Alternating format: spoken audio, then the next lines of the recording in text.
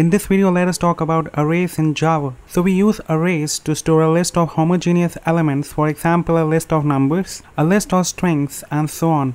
Arrays are reference types, so we can make use of the new keyword to declare an array. So let us declare an array of numbers. So right after the int keyword, to show that this is an array, and on the right side, within the square braces, we need to specify the size of the array. Then here we can say new int so the new keyword is used to do dynamic memory allocation for our array. And here let us give the name for the array. So numbers. So 5 here denotes the size of the array. So here we are defining an array of 5 elements. Now if we want to access individual elements of this array, we can make use of the index of the array. So index 0 represents the first element of the array. So if you want to access the first element of the array. To reference the first item, we can make use of the index 0, the numbers, then the square brace and 0. And let us set this to 45. Similarly, we can set the second item to 34. So numbers 1, set that to 34. Now what if we use an invalid index, say 6, so numbers 6 and set this to 22. Now as you can see, here we are having an array of 5 elements, but we are accessing the index 6 which doesn't exist on the numbers array. So this should not work. So let us print the array. And let us compile the code and run the file to see the output. Java basics. So you can see we are getting an exception. Index 6 is out of bounds for length 5 because here you can see that our array can have only 5 items and no more. So index 6 is an invalid one. So let me comment this out and let us again compile the code and run the file. Now here you can see that we are getting this weird string instead of the items of the array. Now the reason for getting this output is that by default when we print the array, Java returns the string that is calculated based on the address of this numbers object in memory. Now the question that comes in our minds is that how we can see the contents of our numbers array. For that we have a class that we can use and it is known as arrays and is present in the java.util package. So let us import it at the top. So say arrays and select this arrays from the drop down and here we get the import. So arrays class is present on the java.util package. Now to access the members of this class, we can make use of the dot operator and then we have this toString method. We can call this method and pass our numbers array and this will return a string representation of our array. So let us try this. Wrap this in the print line statement system.out.println and if I now run the file you can see now we are getting the contents of the array so the first element of the array was set to 45. The second element of the array was set to 34 and all other items by default are set to a numerical value of 0 in case of integers when we make use of the new keyword, right? Now for each of different primitive and reference types, we have multiple implementations of the toString method.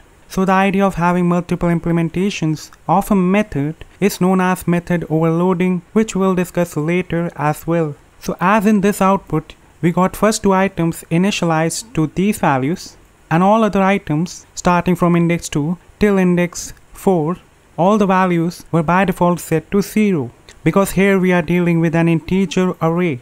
Had the array been boolean, all the items by default would have been initialized to false. Now what if we know the elements of the array ahead of time, then we can make use of the new syntax of initializing our array. So let us create a new array and let us name it as names. So this will be an array of strings. So string and array. So it will be an array of names. And here in this new syntax, we use the curly braces.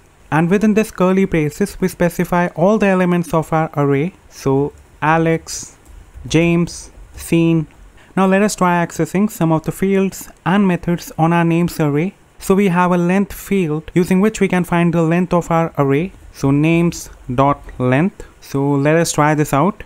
And here you can see we are getting the output as 3 because in the names array we are having 3 elements. Now in the start of the video I told you that arrays are collection of homogeneous elements. So if you try adding a number to our names array and then run the file, you can see we are getting an error incompatible types. int cannot be converted to a string. Now this therefore concludes that an array is a collection of homogeneous elements that have the same type and has a fixed size. So let me uh, revert back.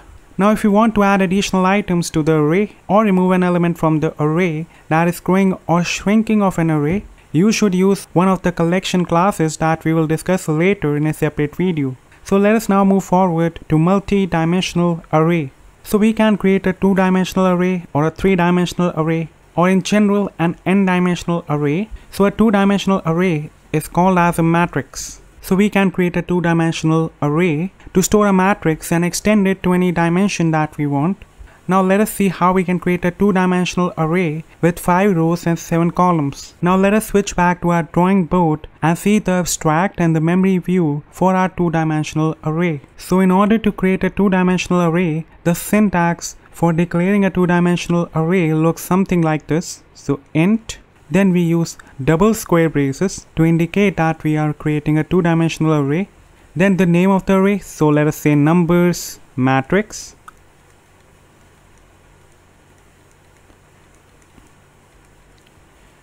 Then new int because here we are declaring an array of integers. So a two-dimensional array of integers where the number of rows is 5 and the number of columns is 7. So let us understand the abstract view for the two-dimensional array. So the abstract view of the two-dimensional array looks something like this.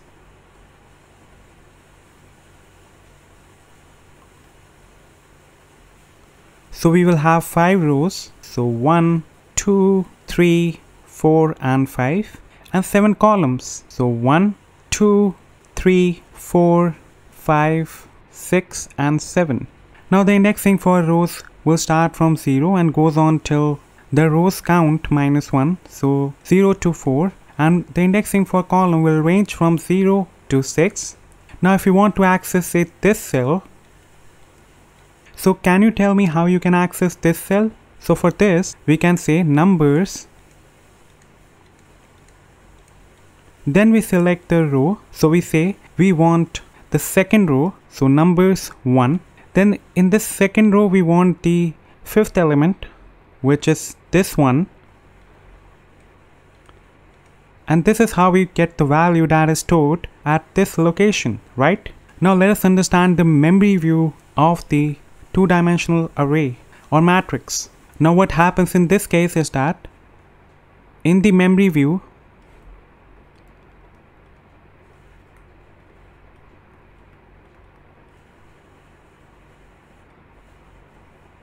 we have the numbers matrix variable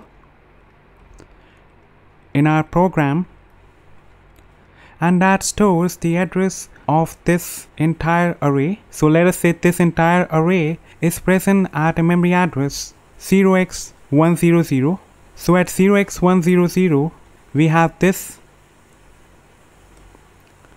array with 5 elements. So 1, 2, 3, 4 and 5 and the indexing goes from 0 to 4. Now each of these 5 elements in turn holds an address for other arrays. So let us say here we have 0x200, 0x300, 0x400, 0x500 and 0x600. Now let us say the array that is present at the address 0x200 has 7 elements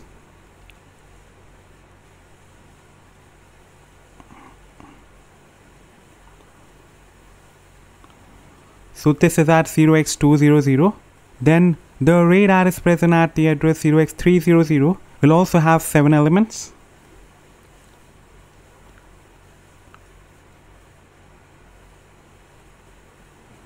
Same for 0x400.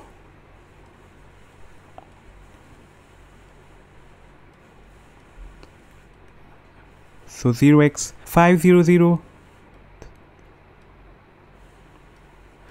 and finally for 0x600.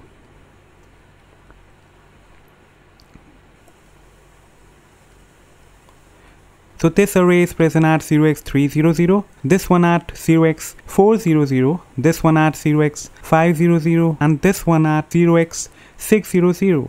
Now let us try accessing numbers 1, 4 and see how it works in this memory view. So numbers here refer to the one dimensional array that we are having here. Now when we say numbers 1, we get this address now this address itself, now if you go to this address, you get this array which is sitting at the address 0x300 and now you want to access the fifth element of this array, right? So the fifth element for this array will be this one sitting at index 4. So if you want to access numbers 1, 4, you first access the second element of the one dimensional array which is numbers. Now once you have accessed the second element of this one dimensional array, you get an address for another one dimensional array. So you go to that and in that array you access the fifth element which is pointed to by index 4 which is this one. So if I now say numbers 0 0 so number 0 refers to this address now once you have this address, you go to that address, you find this array and then you access the first element of this array which is this one. So this is how you can access the elements of an array both by the abstract view and the memory view. Now coming back to our editor, let us create a two-dimensional array int double square braces numbers matrix new int 5 rows and 7 columns. Now to access individual elements of the array, we need to supply two indices. First is the index of the row and the second one is the index of the column. Next, let us go to the second row and third column and set some element to that location. So second row, so numbers 1 and third column 2 and set this to 45. So here we are setting the element that is sitting in the second row and third column to 45. Now let us print the array by saying system.out.println arrays dot dot toString and pass the numbers matrix to this. So let us take a look at the output. Yes, this should be numbers matrix. So let us take a look at the output. Java basics. And once again you can see that we are getting this weird string. Now here we are dealing with a multi-dimensional array. So instead of the toString method, we need to use other method for this which is deepToString. Deep to string. So let us give this a whirl.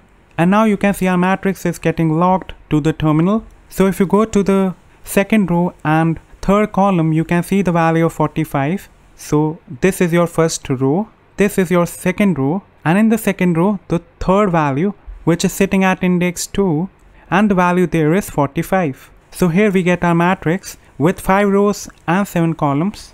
Now what if we know the elements of the matrix ahead of time, then we can create it using the new syntax. So let us define a new multi-dimensional array, numbers, matrix 2 and here we can make use of the curly braces and to define each row we can again use a curly brace to define a one-dimensional array. So 1, 2, 3, 4, 5, 6, 7. So each row will have 7 values and in total we want 5 rows so 8 9 10 11 12 and 13 14 15 16 17 18 19 20 21 let me do this quickly so in total now we have 5 rows and 7 columns so here numbers matrix 2 is a two-dimensional array with 5 rows and 7 columns. Now let us print the array to the terminal. So system.out.println arrays dot and we again need to use the deepToString method and pass on the numbers matrix to to this. And let us see the final output. So here you can see we are getting 5 rows and each row we have 7 values. So 5 rows and 7 columns. So this was all I wanted to cover about arrays in Java. If you liked the video do give it a thumbs up or comment down below if you have any query. Don't forget to subscribe to the channel. And let's catch up in the very next one